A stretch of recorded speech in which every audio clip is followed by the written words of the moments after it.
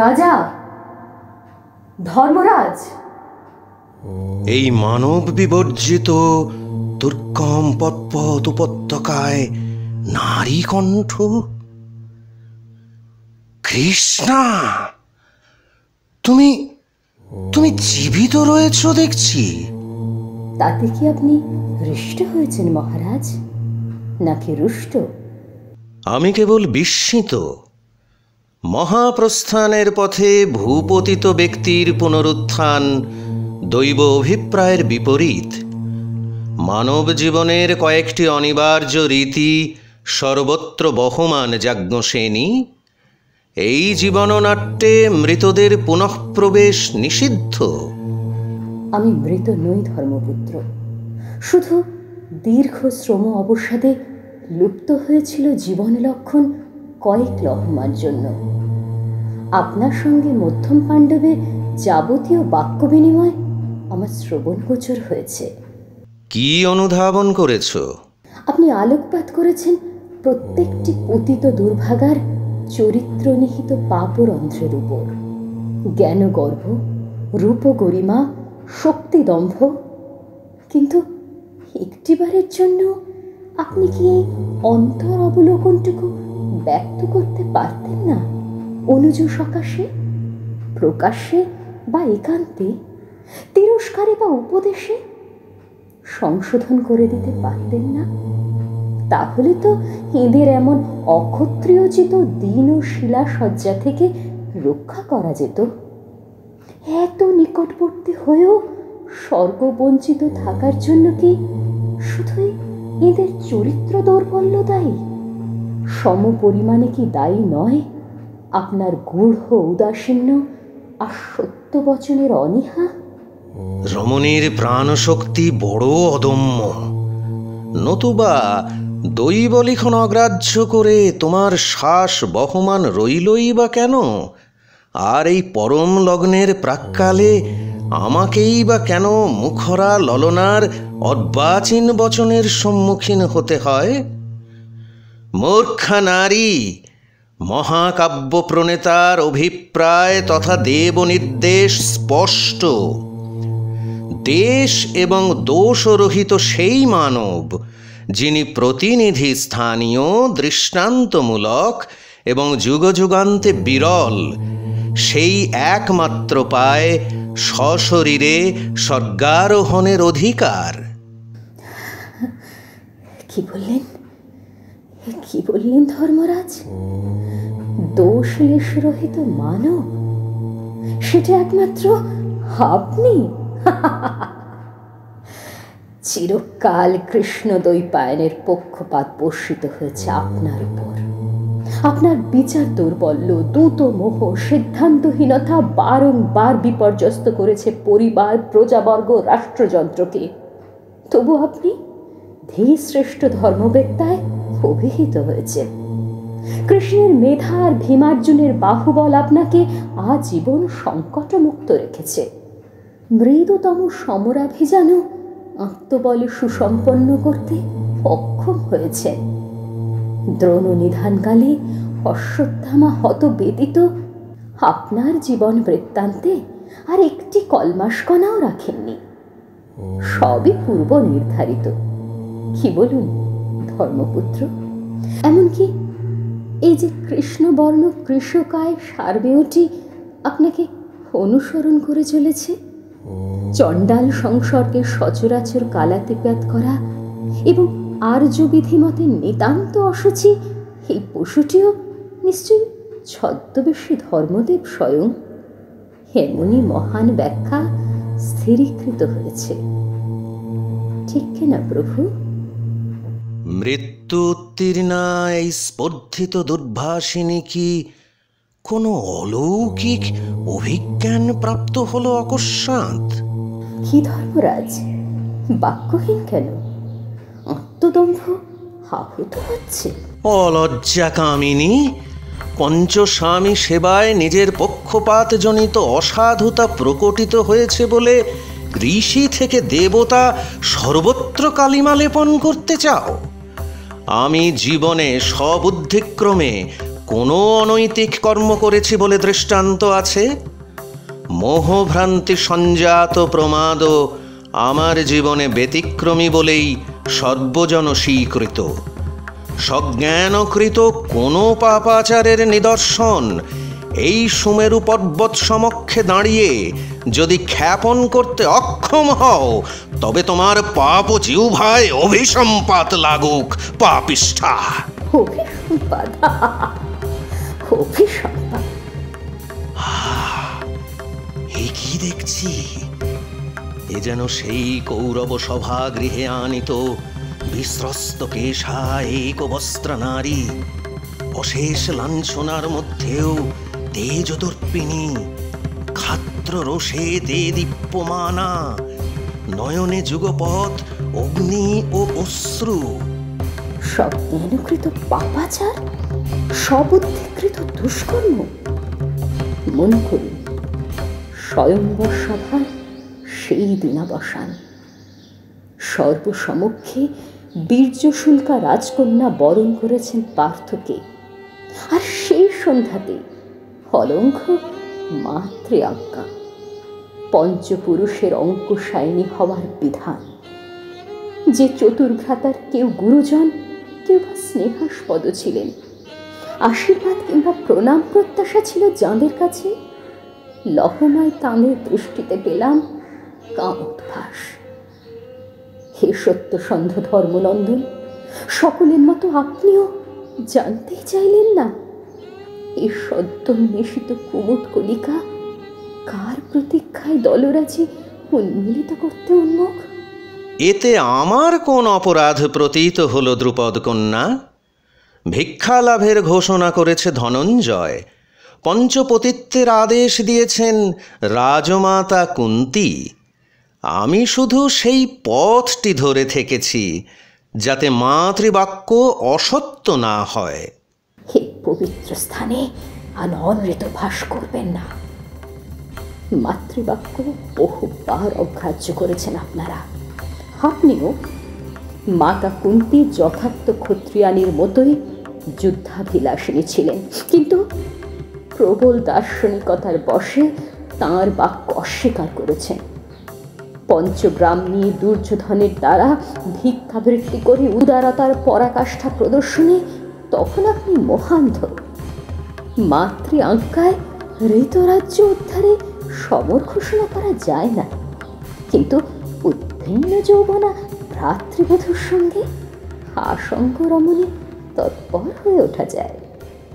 তাই না মহাভার ধর্মের গতি অতীব সূক্ষ্ম। সকলে তা অনুধাবন করতে পারে না। তোমার পিতাকেও তাই আমি বলেছিলাম। নমে বাগহৃতং প্রাহনা ধর্মে মতে আরও বলেছিলেন, রত্নস্ব সহভোজনম। এই মিথ্যা ভাষণটি কি করে করলেন ধর্মরাজ? আপনারা যাবতীয় ভোগ একত্রে করে থাকেন, তাহলে দেবিকাকে কেন আপনি ভোগ করলেন? কেন হিড়িম্বা ভীমের নিজস্ব পত্নী বলে স্বীকৃত হলেন? সুভদ্রার রতিসুখ কেন প্রদান করলেন? একাকী অর্জুন শুধু সর্বযোশীর দ্বারা পাঞ্চালীকে সহভোজন তত্ত্বে সীমাবদ্ধ রাখা বিপুল এক অসদাচরণ এবং অনৃতভাস নয়?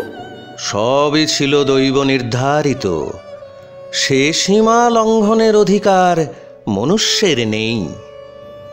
পিতা ধ্রুপদ যখন তীব্র অসমর্থন জ্ঞাপন করে এই তত্ত্বকে বেদ বিরুদ্ধ এবং লোক বিরুদ্ধ পাপ বললেন ভ্রাতা ধৃষ্টদুম্ন জানালেন দৃঢ় আপত্তি। তখন আপনি নতুন যুক্তি উত্থাপন করলেন। জ্যেষ্ঠ অবিবাহিত থাকাকালে কনিষ্ঠের বিবাহ অবিদেহ কেউ এক মিথ্যাচার ধর্মরাজ। পিতামহ ভীষ্মকে অনড় থেকেও স্বয়ং বিবাহ দেননি কনিষ্ঠের। কি আশ্চর্য! বেদব্যাস আপনার সমর্থনে বিধান দান করলেন। রক্ত মাংসের মানবীতে নিমেষে লক্ষ্মীর অবতার রূপ ঘোষণার মাধ্যমে। শুধুমাত্র আমাকে ভোগের উদ্দেশ্যে রচিত আপনার এই বাক চাতুরী।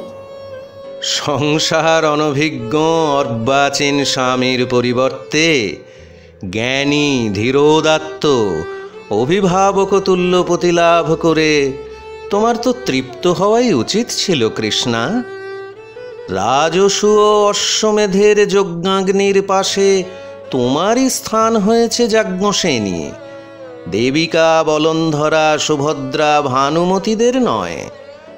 রাজা যুধিষ্ঠিরের প্রধানা পত্নীর মর্যাদা, সমগ্র আর্যাবর্তের তাবৎ রমণের ঈর্ষাস্থল। সে সৌভাগ্য বিস্মৃত হচ্ছ তুমি। সম্রাজ্ঞের মর্যাদা। যোগ্য ভাব হায় অনাক্রাত অস্পৃষ্ট যৌবন কুসুমটি, যার পায়ে উপহার দেব বলে দেহমনকে উৎসুক করে রেখেছিলাম, সহসা দেখলাম প্রথম মধুনিষের সঙ্গী হলেন পৌর প্রায় চেষ্ট সমাজবিধি মতো যার সঙ্গে বাক্যালাপে নিন্দার হোক বয়সে পিতৃতুল্য, তিনি করলেন আমার কুমারিত্ব হর যান্ত্রিক ও নিরুত্তাপ ভাবে। বর্ষকাল উদাসী সঙ্গমান্তে উঠে এলাম ভীমসজ্জায় সামান্য নিষ্পেষণে তীব্র শ্বাসরোধে যন্ত্রণাবিদ্ধ হই। আরও এক বর্ষ। পারিবারিক গণিকা তাই না মহাভাগ আপনার নিজ সৎহীন কামাতু দৃষ্টি আর সূক্ষ্ম কাপড়টি বলে। কন্যার বয়সী ভাতৃ যাহাকে ভোগ করতে পারলেন। কিন্তু একই যুক্তির বসে মাতৃ আঁকার সুচারুতর এবং উদারতর ব্যাখ্যা নির্মাণ করে স্বাভাবিক একটি পরিবার তো গঠন করতে পারতেন মহাত্মান যে পরিবারে বর্ষণান্তে নারীর শয্যান্তর ঘটে না। ফাল্গুনির শয্যায় তুমি তো অন্তত তৃতীয় বর্ষে স্থান পেতেই পারতে সুভগে। হঠকারীর মতো সে যদি শর্ত লঙ্ঘন না করে বসত অস্ত্রাগারের সেই অস্বস্তিকর ঘটনা। স্তব্ধ হন কৌশলী প্রতারক গোবৎস অপহরণের ঘটনাটি ছিল অত্যন্ত সাজানো। অর্জুনকে পাই তুচ্ছ কার্যে নিয়োজিত হতে হলো কেন বলতে পারেন নগরের শান্তিরক্ষক প্রহরীর কি অভাব দেখা দিয়েছিল অকস্মাৎ আর আপনি? হ্যাঁ হ্যাঁ আপনি। সহসা ঠিক সেই লগ্নটিতে আমাকে অস্ত্রাঘাত দেখানোর জন্য অমন উদ্বেল হয়ে উঠেছিলেন কেন ধর্মপুত্র? কি দেব সংযোগে বা ওই অপরিচ্ছন্ন পরিবেশে আপনার জাগ্রত হলো যে অস্ত্রাগারেই আমাকে করে ঠিক প্রথম পাণ্ডব। অপ্রস্তুত ফাল্গুনির সেই আহত নত দৃষ্টি মনে পড়লে এখনও আমার সর্বাঙ্গে বৃশ্চিক দংশন হয়। ঈর্ষাকাতরতায় এত দূর অবনমন হয়েছিল আপনার ধর্মরাজ। এই ঘৃণ্য কৌশলে দীর্ঘ দ্বাদশ বৎসর অর্জুনকে বনবাসে প্রেরণ করে দিলেন, যাতে পরস্পরের সত্য এবং সঙ্গ বঞ্চিত হয়ে কেটে যায় আমাদের যৌবন। পূর্ব নির্ধারিত ঘটনাক্রম মেনে এই পরম মর্যাদা ব্যঞ্জক অন্তিম পর্বটি অতীব মসৃণ এবং সরল রৈখিক হবে। এটাই তো প্রত্যাশিত ছিল। কিন্তু এই দুর্বিনীতা মূর্তিমান ঝঞ্ঝাবাত্তার মতো সব পণ্ড করে দিতে বসেছে যে। ভদ্রে পাঞ্চালী এতদিন, এত বৎসর ধরে তুমি আমার প্রতি এত বিদ্বেষ পোষণ করে এসেছ হৃদয়ের প্রত্যন্তে। তা জেনে আমার চিত্ত বড়ই পীড়িত হলো। তবে এই শেষ লগ্নে তোমারও কিঞ্চিত উদার ক্ষমাপরায়ণ হওয়া বাঞ্ছনীয় ছিল নাকি? আপনি স্বয়ং কি তা প্রদর্শন করেছেন ধর্মপুত্র। আপনিও তো আজীবন আমাকে মার্জনা করেননি। ধনঞ্জয়ের প্রতি আমার পক্ষপাত, পলে অনুপলে কুশাগ্রের মতো বিদ্ধ করত আপনাকে। ঈর্ষা ঈর্ষাবন্যেতে দগ্ধ হতেন নিরন্তর। বারংবার ধর্ষকামী মানসিকতা নিয়ে আমাকে নানাবিধ লাঞ্ছনা, নির্যাতনের মুখে নিক্ষেপ অবমাননার দৃশ্যগুলি নীরবে উপভোগ এবং আমার উৎপীড়ককে উদার করুণা প্রদর্শন। এ সমস্ত যে আপনার ইচ্ছাকৃত নিঃশব্দ প্রতিশোধ তাকে আমি বুঝিনি। শান্ত হও পাঞ্চালি এ সকলই বিগতকালে অতীত হয়েছে। কাল ঘূর্ণন চিরকাল দক্ষিণাবর্তী। সজ্ঞানে আমাকে পণ্য রেখে বস্ত্রহরণের অপমান টেনে এনেছেন। ধর্ষণোদ্যত দুরাত্মা জয়দ্রথকে প্রাণ ভিক্ষা দিয়ে মুক্ত করে দিয়েছেন কীচকের হাতে আমার শ্লীলতা হানিতে নিষ্পৃহ দেখেছেন এইভাবে আপনিও যে হৃদয় গহনে আমার প্রতি ঘৃণা এবং প্রতিহিংসার আগুন চির জাগরুক রেখেছেন জ্যেষ্ঠ পাণ্ডব, সেইটুকু উপলব্ধির জন্য আমার এই ক্ষুদ্র শ্রীবুদ্ধি যথেষ্ট। মেরু পর্বতের হিমাবৃত পদতলে এসব উচ্চারণ। বৃথা কালক্ষেপেরই নামান্তর যাজ্ঞসেনী। ঠিকই বলেছেন মহাভাগ এই মহাপ্রাস্থানিক পর্বে যখন আপনার তুল্য জ্ঞানী মানুষের দেশ রোষ মালিন্যের ঊর্ধ্বে নিরাসক্ত হবার কথা, সেই লগ্নেও আপনার দীর্ঘ পোষিত ক্ষত শুষ্ক হয়নি মহারাজ। পাঞ্চালি যে ফাল্গুনের প্রতি আসক্ত থেকেছে আমৃত্যু, সে কথা আপনি বিশ্রান্ত হতে পারেননি। পথশ্রম বিপর্যস্তা মরণাপন্ন নারীর সে পাপ চিহ্নিত করে দিয়েছেন নির্মম কণ্ঠে। শেষ মুহূর্তে ঔদার্য কিংবা মার্জনার কথা আপনার মুখে হাস্যকর শোনায় কুন্তিনন্দন। এখন শেষ পর্যন্ত কি তোমার অভিপ্রায়, কৃষ্ণা? তুমি তুমি কি তবে? মাভৈ রাজন, আপনার বহুকাঙ্ক্ষিত স্বর্গারোহণে ব্যাঘাত সৃষ্টির মতো নিজ উদ্দেশ্য আমার নেই। স্বর্গরথে সহগমনের অধিকার করবার প্রবৃত্তিও আমার নেই। যে মুহূর্তে দৈব স্থিরীকৃত পতন এসেছে আমার অদৃষ্টে। সেই মুহূর্তটি থেকেই হস্তিনাপুর রাঙ্কি দ্রৌপদী, পঞ্চস্বামী বিহারিণী যাজ্ঞসিনী কিংবা বাসুদেবের প্রিয় সখী কৃষ্ণার জীবন ইতিহাস সমাপ্ত হয়েছে।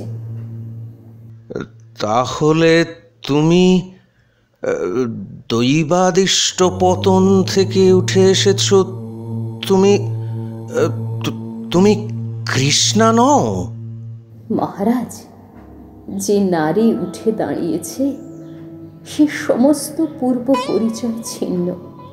সকল অতীত মুক্ত বিত শৃঙ্খল সে স্বয়ংভূতা। একদিন যেমনভাবে যজ্ঞাগ্নি থেকে উত্থান হয়েছিল এক তেজস্বী কন্যার, আজ তেমন এই দুর্গম বন্ধুর রক্ত লাঞ্ছিত উপল শয়ন থেকে উঠে দাঁড়াল। আত্মদীপ্তা নারী। সে অগ্নি সম্ভবা গত জন্মের চিরদাহ্যমান বন্দিকন্য তাকে নব জন্ম দিয়েছে। সে একা অনন্যা। একাকী নারী এই নির্জন গিরিবর্ত্ম পথে দ্রৌপদী তুমি আপনার হয়তো মনে পড়বে বনে পর্বে একদিন কৃষ্ণ সখাকে সরোদিনী বলেছিলাম, আমার পতিরা নেই পুত্রেরা নেই বান্ধব, ভ্রাতা, পিতা কেউ নেই। এমনকি আমার জন্য আমার জন্য তুমিও নেই হে বাসুদেব। আজ এত যুগ পরে সেই আত্মবিশ্লেষণ পরিপূর্ণ সত্য হলো। আজ থেকে এই সসাগরা ধরিত্রীতে, নীলাম্বরের নিচে, গিরি নদী শোভিত শ্যাম প্রকৃতির কোলে, আমার অবশিষ্ট দিনরাত্রির মালা গাঁথা সম্পূর্ণ হবে। নিজের মতো প্রতিবাহন করব, এই আমার স্বর্গ। কোথায় যাবে তুমি পাঞ্চালি? এই ভগ্ন অশক্ত শরীরে সহায় সম্বলহীন, কীভাবে জীবন ধারণ করবে? জনারণ্যে মিশে যাব মহারাজ। ভিক্ষা করব, পর্ণকুটিরে বাস করব। কৃচ্ছ সাধনের অভ্যাসও তো কম হয়নি জীবনে। শুধু এই নতুন অধ্যায় কারও দাসিত্ব করতে হবে না। কারও ইচ্ছা, নির্দেশ, অঙ্গুলি হেলনে চালনা করতে হবে না নিজেকে। বৃদ্ধা লোলচর্মা ভিখারিণীকে কেউ মহিমময় কুরু সম্রাজ্ঞী বলে চিনবে না। সহজ নির্ভীক স্বনির্ভর যাপন। তারপর এক অজ্ঞাত, অনালোকিত, অকীর্তিত অবসান। মহারাজ, ক্রমশ বিবিক্ত হয়ে উঠছে আমার হৃদয়। স্খলিত হয়ে পড়ছে যাবতীয় অভিযোগ, বিদ্বেষ, জ্বালা। এতক্ষণের কুবাক্যের জন্য মার্জনা চাই ধর্মপুত্র। আর কোনো বিরাগ নেই আমার। আপনাকেও সর্বান্তকরণে নিঃশেষে ক্ষমা করে যাচ্ছি। আপনি নির্বিঘ্নে কাম্যলোকে গমন করুন। আপনার সর্বমর্যাদা, প্রতিষ্ঠা অক্ষুণ্ণ থাক। বিদায়।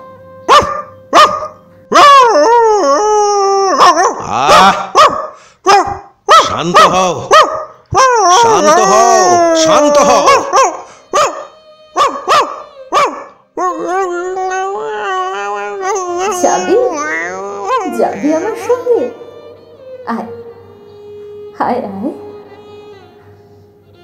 মহাভাগ ধর্মরাজও আজ আপনাকে ত্যাগ করে চলে এসেছে আমার কাছে। আমি কিন্তু আহ্বান করিনি, তিনি নিজে আমার সঙ্গী হয়েছেন।